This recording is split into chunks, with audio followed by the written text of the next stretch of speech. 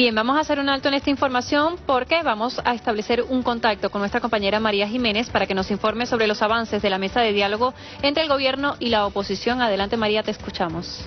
Muy buenas tardes, un cordial saludo a todos ustedes. Representantes del gobierno bolivariano y sectores de oposición se reúnen por tercera vez como parte del proceso de diálogo que adelantan ambas partes. Un encuentro que es acompañado igualmente por representantes de UNASUR y el Vaticano y el día de hoy presentarán avances de las del proceso de la mesa de diálogo que acompañan los dos sectores. Pero escuchamos de inmediato parte de las declaraciones de los representantes. En esta presentación y vamos a hacer la lectura de dos documentos, un comunicado conjunto que recoge las conclusiones de las deliberaciones de eh, la comisión, que además se apoyó en los informes de las cuatro mesas temáticas, y después eh, un representante de la MUT y un representante del gobierno harán una lectura conjunta de una declaración de principios eh, que ustedes ya se enterarán del contenido. Monseñor. Eh, muchas gracias y muy buenas tardes a todos. Doy lectura del comunicado oficial sobre los trabajos de nuestra eh, segunda reunión plenaria en el marco del diálogo nacional entre la delegación del Gobierno Nacional y de la Mesa de Unidad Democrática, MUDA. En conformidad al acuerdo alcanzado durante la reunión plenaria celebrada el 30 de octubre de 2016 en el Museo Alejandro Otero, el día de hoy, 12 de noviembre de 2016, concluyó la segunda reunión plenaria del Diálogo Nacional con la participación de los delegados del Gobierno Nacional y de la MUD y el acompañamiento de la Santa Sede representada por Monseñor Claudio María Celli, de los expresidentes Leonel Fernández, José Luis Rodríguez Zapatero y Martín Torijos, y del secretario general de UNASUR, expresidente Ernesto Samper. Al inicio de la reunión, el secretario general de UNASUR destacó el compromiso del Gobierno Nacional y de la MUD con el proceso del diálogo nacional y la contribución que hicieron a la paz renovando el llamado para mantener un tono respetuoso y pacífico en el discurso y la acción política. Los gestos que se han producido nos permiten augurar que el proceso se está fortaleciendo y consolidando. Por su parte, Monseñor Celli hizo llegar a la mesa un mensaje personal del Papa Francisco para mantener y perseverar en el camino del diálogo, que es el único posible para resolver las legítimas diferencias entre los venezolanos. Asimismo, señaló que durante los últimos días se han escuchado las voces de diversos sectores de la sociedad y se ha renovado la fe en que el camino elegido es el correcto. A tiempo de llamar a los representantes del Gobierno Nacional y de la MUD a actuar en el marco de la convivencia democrática, el reconocimiento y el respeto mutuo. Durante la sesión se presentaron los informes de los acompañantes sobre la constitución formal y los avances de, las cuatro mesas temáticas, comprometiéndose las partes a profundizar y consolidar el positivo funcionamiento de las mismas. En ese contexto destacaron el Gobierno Nacional y la MUD asumieron el compromiso de poner en práctica una hoja de ruta que permita normalizar la relación constitucional entre los poderes del Estado, el respeto recíproco entre los mismos y explorar medidas de acompañamiento económico en el marco legal, constitucional y de respeto a la soberanía nacional, que contribuyan a mejorar las condiciones de abastecimiento de la población.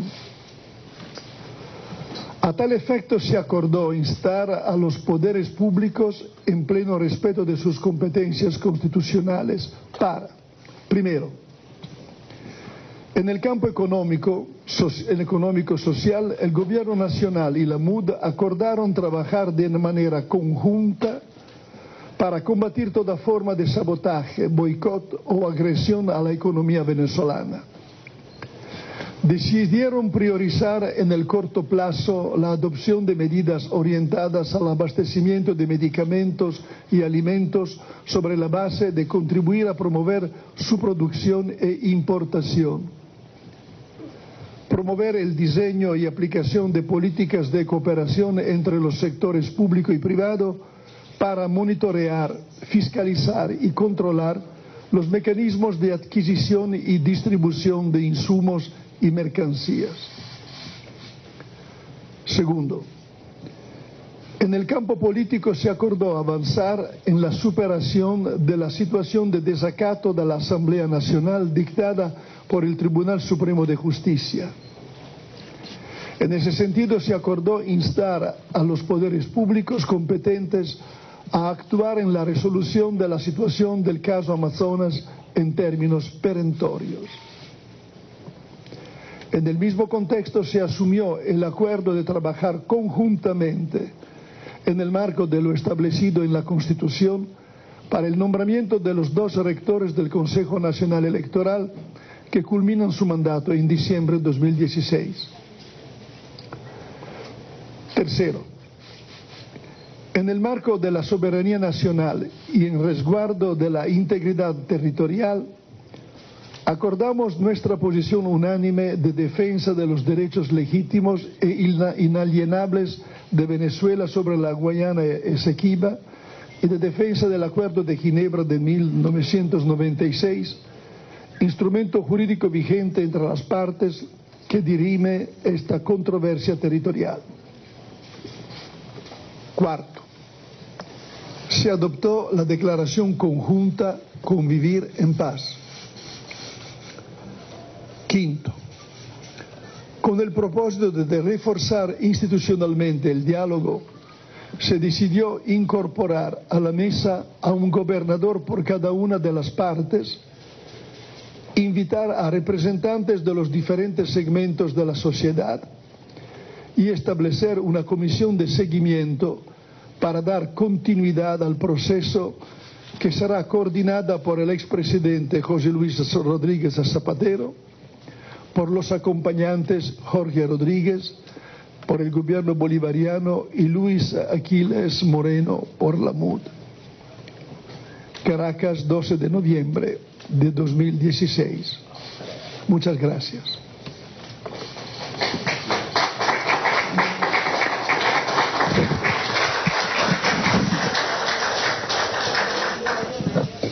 Gracias, Monseñor. Ahora va a haber una declaración conjunta que van a, leer en nombre del gobierno y de la MUD Carlos Ocariz y Jorge Rodríguez.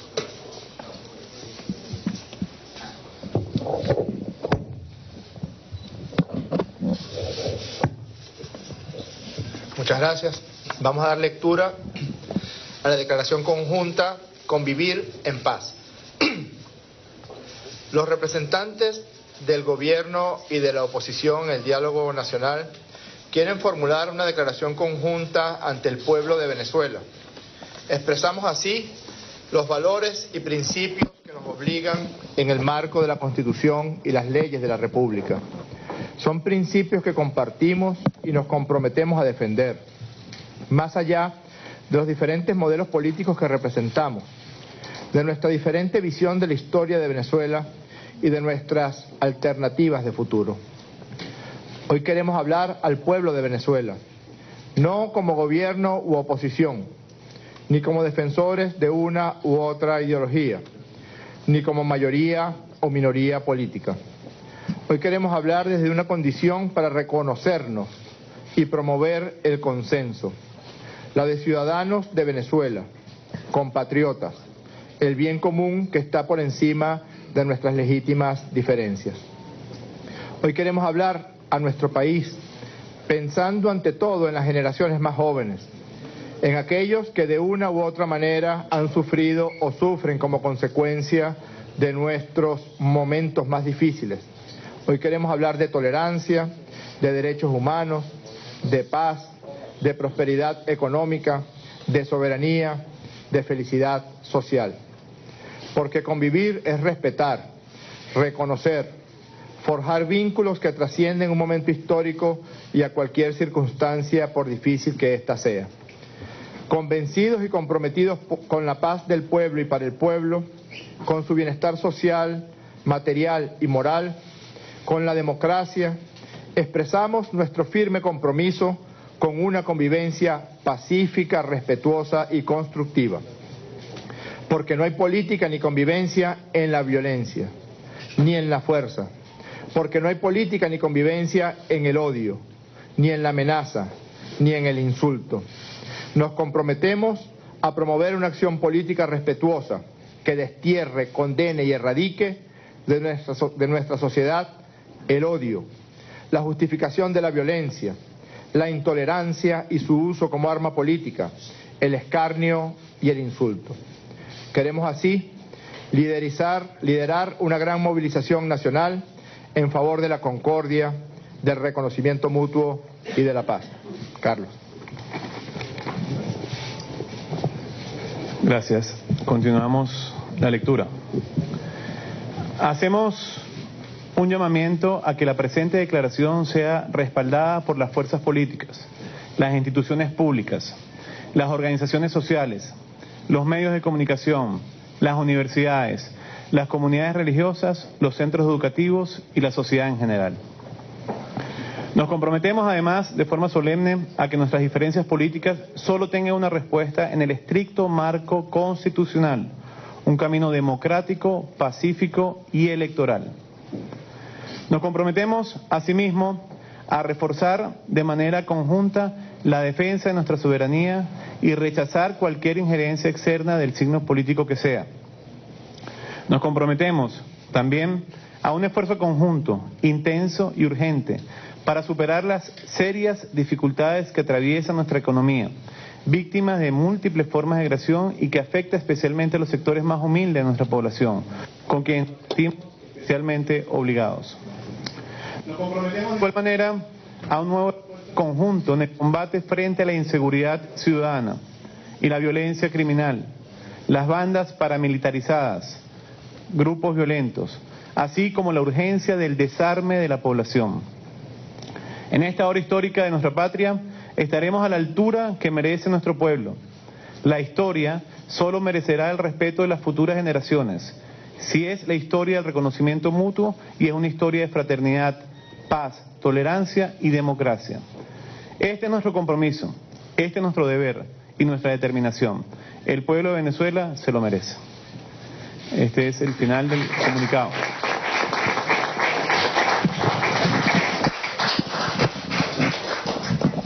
Queremos pedirle disculpas, algunos debemos viajar. La idea es que ustedes, algunos,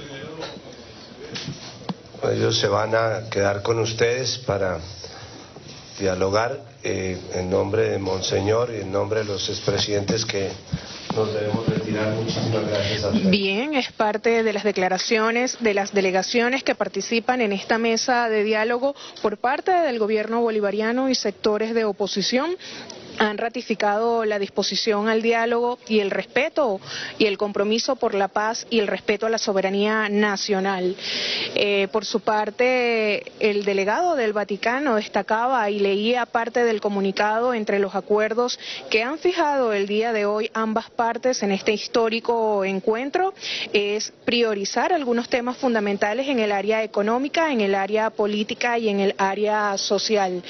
Pero uno de los temas fundamentales que han fijado los, los dos eh, sectores políticos que participan en esta mesa de diálogo es principal y fundamentalmente eh, preservar la paz y la soberanía en el país. Recordemos además que los representantes del gobierno nacional han reiterado la disposición al diálogo y han incluso entregado un documento ante esta mesa de diálogo en el que instan al cese al intervencionismo, así como a la violencia, al odio y hacen un llamado al respeto a la democracia, a las instituciones del Estado y a las instituciones públicas eh, como parte de este documento que han entregado, así como el cese eh, frente a las intrigas y a las campañas mediáticas que tergiversan la realidad política venezolana parte de los encuentros del día de hoy de esta mesa de diálogo entre ambas partes que además han ratificado que parte de los acuerdos que han suscrito y han establecido es designar a un gobernador por parte de como representante del gobierno bolivariano y también un gobernador de oposición que se suma a esta mesa de diálogo se estarán incorporando eh, en los próximos días a este proceso de diálogo que adelantan ambas partes. Pero escuchemos de inmediato parte de las declaraciones de los representantes del gobierno bolivariano. Unas breves palabras, unas palabras llenas de optimismo, llenas de concordia. Sobre todo es un mensaje para todas y para todos los venezolanos. Antes de hacerlo, Queremos felicitar a nuestro nuevo miembro flamante de la Mesa de Diálogo Nacional, el gobernador del Estado de Aragua. Ustedes saben que se amplió la mesa de diálogo con un representante, un gobernador de las Fuerzas de la Patria y un gobernador de la MUD. Por parte del gobierno nacional, el gobernador es Tarek El Aizami, que hoy está cumpliendo años.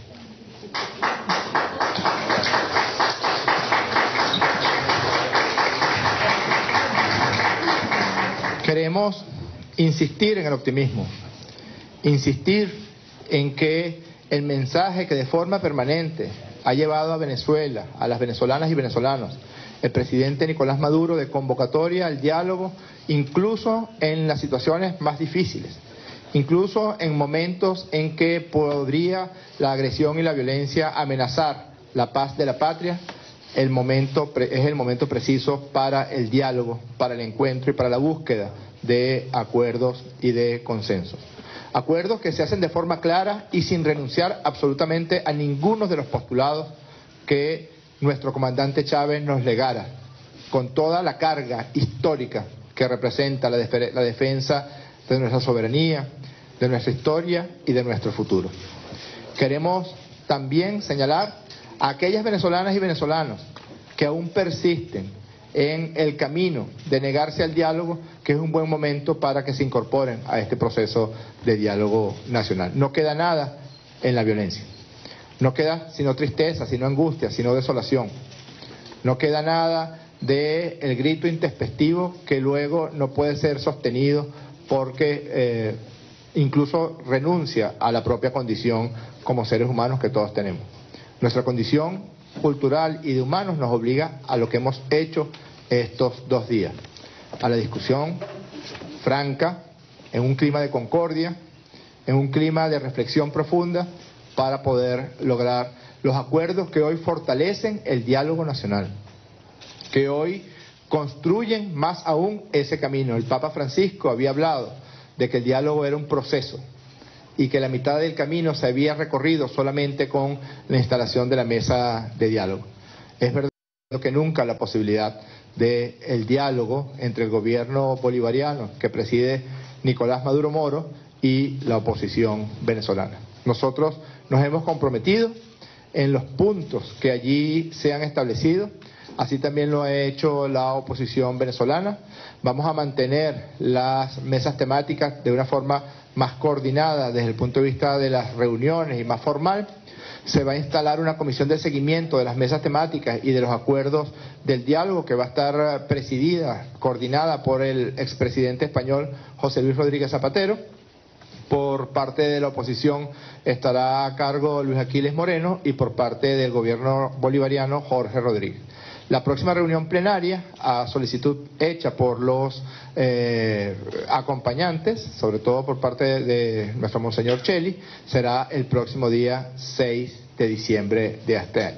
Un gran abrazo e insistimos en desearles una feliz Navidad.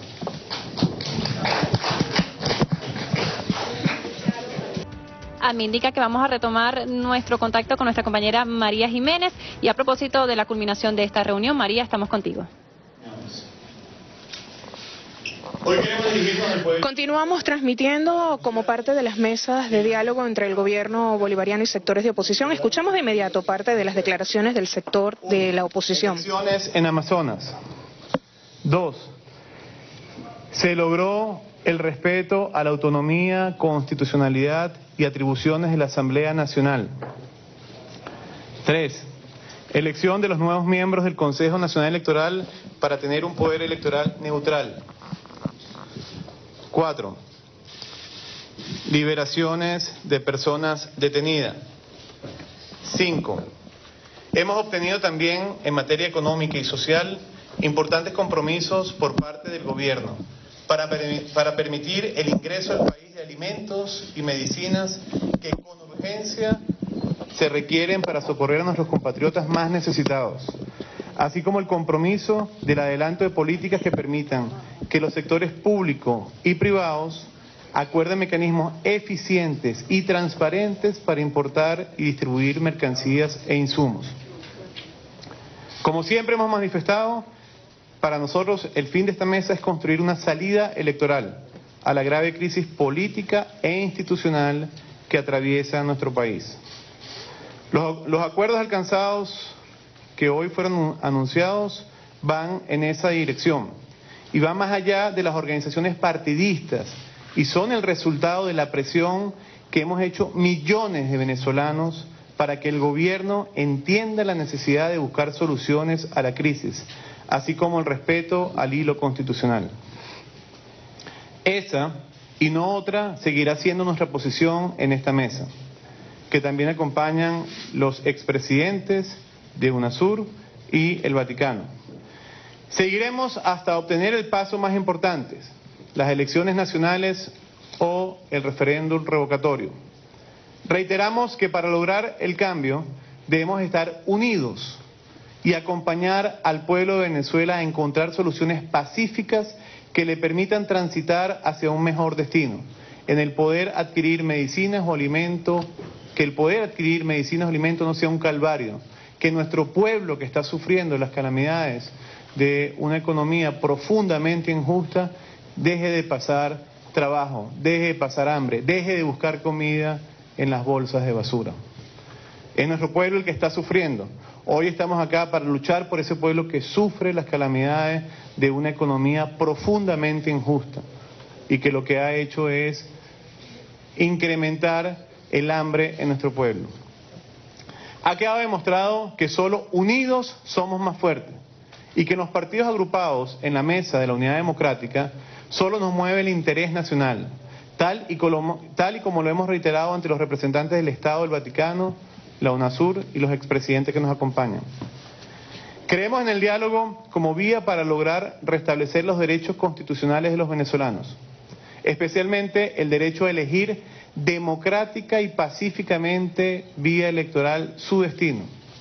Es precisamente a ese pueblo sumergido en la desesperanza de una crisis interminable que nos debemos y por el que seguiremos actuando en todas las instancias y los ámbitos posibles. Este no es el único, en todas las instancias seguiremos luchando por las cosas que creemos. En nuestro próximo encuentro seguiremos insistiendo en lo que consideramos fundamental para superar esta grave crisis política e institucional. Esto es el derecho que tienen todos los venezolanos a dirimir una situación de esta naturaleza a través del voto popular en el corto plazo. Muchísimas gracias y estamos en contacto por las distintas vías. Muchísimas gracias y muy buenas tardes. Bien, es parte de las declaraciones de los representantes de sectores de oposición, quienes también planteaban algunos de los puntos acordados en este encuentro de diálogo entre ambas partes. Los dos sectores han establecido una hoja de ruta en materia económica, política y social, donde han priorizado el tema del abastecimiento de alimentos y medicinas. Igualmente han establecido que sectores públicos y privados activen mecanismos eficientes en la distribución de insumos de distintos ámbitos. Igualmente ambas partes han acordado trabajar de manera conjunta contra el sabotaje de la, y la denominada guerra económica. Hay una decisión unánime en la defensa del Acuerdo de Ginebra y la defensa del territorio de. Con esta información devolvemos el pase a los estudios nuevamente. Adelante.